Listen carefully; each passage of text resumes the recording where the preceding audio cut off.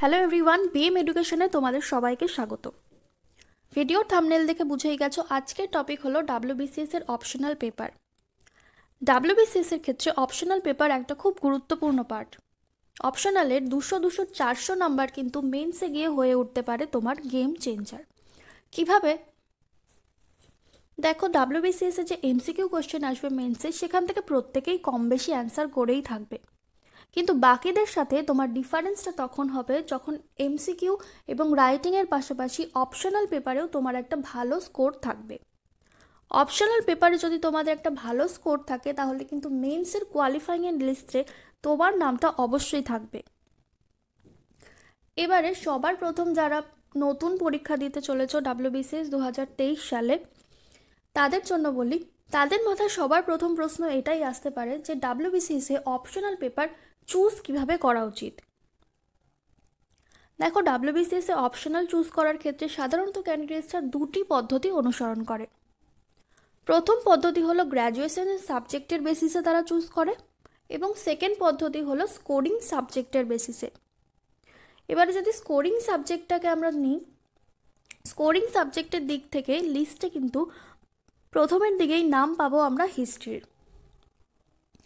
ইতিহাস থেকে কিন্তু স্কোরিং সাবজেক্ট হিসেবে ধরা হয় ডাব্লিউবিসিএস এর অপশনাল পেপারের ক্ষেত্রে। কেন ধরা হয়? কারণ দেখো হিস্ট্রির ক্ষেত্রে প্রথমেই প্রিলিমিনারিতে থাকবে তোমার পঞ্চাশ নাম্বার প্রিলিমিনারিতে পঁচিশ পঁচিশ, পঞ্চাশ নাম্বার থাকবে তোমার হিস্ট্রিতে এবং মেন্সে থাকবে কত? মেন্সে এমসিকিউ থাকবে তোমার একশো নাম্বারের এবং তার সাথে চারশো নাম্বারের যদি তোমরা হিস্ট্রি নাও, তাহলে সেক্ষেত্রে চারশো নাম্বারের তোমাদের অপশনাল পেপার অপশনাল পেপার মানেই তোমরা বুঝতে পারছ এখানে লিখতে হবে ব্রড কোয়েশ্চেন ব্রড কোয়েশ্চেনের ক্ষেত্রে তোমাকে একটা টপিকের থেকে ফুল কনসেপ্টটা জানতে হবে। যখনই তুমি কনসেপ্টটা পুরোটা পড়ে নেবে, তখনই বুঝতে পারবে ওখান থেকে কি কি এমসিকিউ হতে পারে।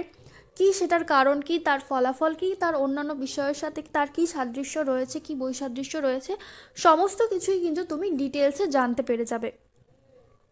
আর তোমরা নিশ্চয়ই জানো যে ডাব্লিউবিসিএস প্রিলিমিনারি এখন নতুনভাবে কোয়েশ্চেন করা হচ্ছে, খুব খুঁটিয়েই প্রশ্ন করা হচ্ছে, এখন নতুন প্যাটার্নে প্রশ্ন করে দিয়েছে প্রিলিমিনারির ক্ষেত্রে। এবং মেন্সে তো আগে থেকেই ছিল মেন্সেও কিন্তু অনেক খুঁটিয়েই প্রশ্ন করা হয়।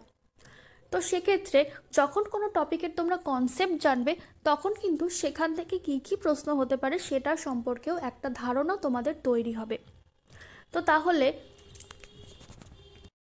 তাহলে হিস্ট্রিকে যদি তোমরা অপশনাল হিসেবে বেছে নাও, তাহলে তোমাদের প্রিলিমিনারি প্লাস মেন্স এবং তার সাথে অপশনাল পেপার তো রয়েছে দুটোর ক্ষেত্রেই কিন্তু তোমাদের খুবই সুবিধা হবে। তোমাদের আলাদা আলাদা পার্টে পার্টে পড়তে হবে না। শুধু একটা টপিককে খুঁটিয়ে পড়লে কিন্তু তোমার প্রিলিমিনারি প্লাস মেন্সও কভার হয়ে যাচ্ছে।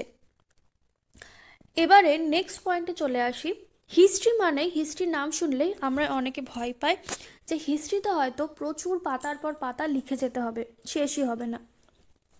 কিন্তু না ডাব্লিউবিসিএস এর অপশনাল পেপারের ক্ষেত্রে একটা নির্দিষ্ট একটা স্ট্রাকচার রয়েছে, যেই স্ট্রাকচার ফলো করে যদি তুমি লেখো, তাহলে কিন্তু অপশনাল পেপারের এই হিস্ট্রির ক্ষেত্রে পাতার পর পাতা তোমায় লিখে যেতে হবে না। তোমার কোয়েশ্চেনটা হবে টু দি পয়েন্ট প্রিসাইজড এবং টাইম কনজিউমিং সময়ের মধ্যে প্রত্যেকটা কোয়েশ্চেনের অ্যান্সারই কিন্তু তোমরা শেষ করে আসতে পারবে। সেটা কীভাবে? চলো এবারে বলি। একটা এক্সাম্পলের মাধ্যমে তোমাদেরকে পুরো স্ট্রাকচারটা বলে দিচ্ছি। দেখো প্রিভিয়াস ইয়ারের হিস্ট্রি অপশনালের একটা প্রশ্ন রয়েছে এখানে পেপার ওয়ানের প্রশ্ন।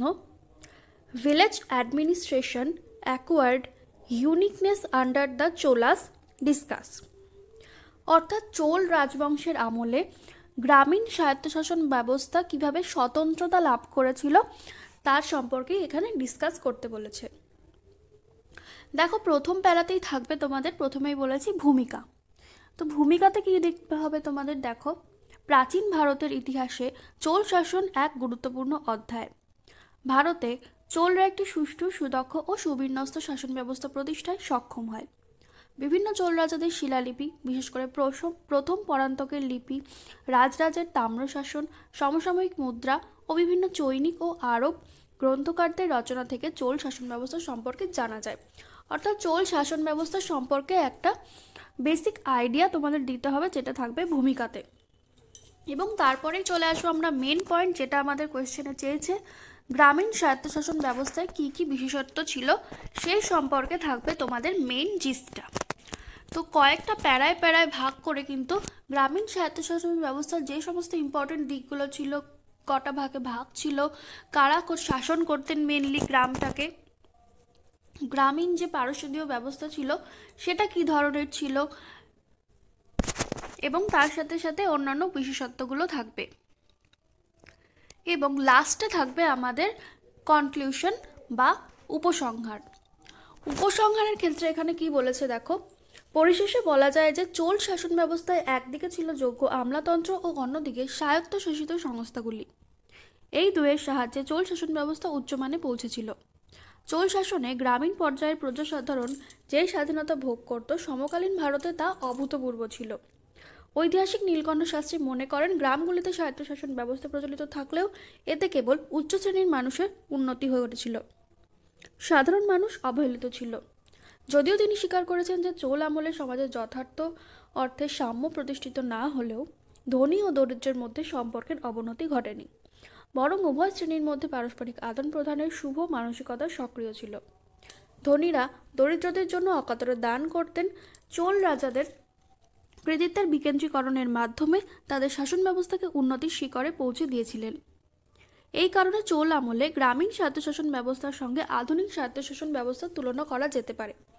চোলরা গ্রামগুলিকে যে স্বাধীনতা দিয়েছিল, গ্রাম শাসন থেকে শুরু করে বিভিন্ন অর্থনৈতিক, প্রশাসনিক ব্যাপারে গ্রামবাসীদের যে ক্ষমতা এবং অধিকার স্বীকার করে নিয়েছিল, চোল চোল শাসন ব্যবস্থাকে তা এক বিশেষত্ব দান করেছে। অর্থাৎ চোল শাসন ব্যবস্থার সঙ্গে যে বর্তমানে আমাদের যে শাসন ব্যবস্থা স্বায়ত্তশাসন ব্যবস্থা প্রচলিত রয়েছে, তার একটা মিল কিন্তু খুঁজে পাওয়া যায়। সেই প্রাচীনকালের চোল শাসন ব্যবস্থায় যে সমস্ত গ্রামগুলিকে যে স্বাধীনতা বা যে স্বতন্ত্র অধিকারগুলি দেওয়া হয়েছিল বা শাসন ব্যবস্থার ক্ষেত্রে তারা যে ইউনিকনেসটা দেখিয়েছিলেন, সেটা কিন্তু বর্তমানেও আমরা লক্ষ্য করে থাকি। তো এটাই হলো তোমার পয়েন্ট অফ ভিউ একদম এক্সাম্পলের মাধ্যমে তোমাদেরকে বলছি কীভাবে নিজের পয়েন্ট অফ ভিউটা ওখানে দিতে হবে। কীভাবে সমসাময়িক কালের সাথে সেই সময়কার ঐতিহাসিক ঘটনার যদি কোনো মিল থাকে, সাদৃশ্য থাকে, বৈসাদৃশ্য থাকে, সেই ধরনের ঘটনাগুলোই কিন্তু নিজেদের পয়েন্ট অফ ভিউর মধ্যে দিতে হবে। এভাবেই এই স্ট্রাকচার ফলো করেই তোমাদেরকে প্রত্যেকটা প্রশ্ন লিখতে হবে ফার্স্টে ভূমিকা, তারপর কয়েকটা প্যারার মধ্যে মেন যে বিষয়টা জানতে চেয়েছে তোমার কাছে কোয়েশ্চেনে সেটা সম্পর্কে কিছুটা লিখে নিলে এবং অবশেষে লিখতে হবে তোমাদেরকে একটা খুব ভালো রিভিউ রিভিউ যেটাকে একদম জিস্ট করে পরিশেষেতে লিখতে হবে, উপসংহার বা কনক্লুশনের মধ্যে। প্লাস নিজের পয়েন্ট অফ ভিউটাও যদি তুমি সেখানে দাও, যে তোমার ওই বিষয়টা সম্পর্কে কি মত রয়েছে বা তুমি যদি কোনো বিষয়ের সাথে সেই টপিকটার সাদৃশ্য খুঁজে পাও, ঐতিহাসিক কোনো বিষয়ের সাথে, তাহলে সেটাও তুমি লিখতে পারো। তাহলে এতে কি হবে? তোমার লেখাটা হয়ে উঠবে একেবারে স্বয়ং সম্পূর্ণ সময় নষ্টও তোমার হবে না একদিকে এবং টু দি পয়েন্টও তোমার অ্যান্সার হবে। প্লাস তার সাথে একদম ডাব্লিউবিসিএস অফিসারের অ্যাপ্রোপ্রিয়েট লেখা হবে তোমার যদি নিজের পয়েন্ট অফ ভিউটাও সেখানে তুমি অ্যাড করতে পারো। ডাব্লিউবিসিএস এর অপশনাল পেপারের অ্যান্সার স্ট্রাকচারকে ফলো করে আমরা তোমাদের জন্য তৈরি করেছি হিস্ট্রি অপশনালের ফুল নোটস পেপার ওয়ান এবং পেপার টুর ফুল নোটস বন্ধুরা তোমরা পেয়ে যেতে পারো।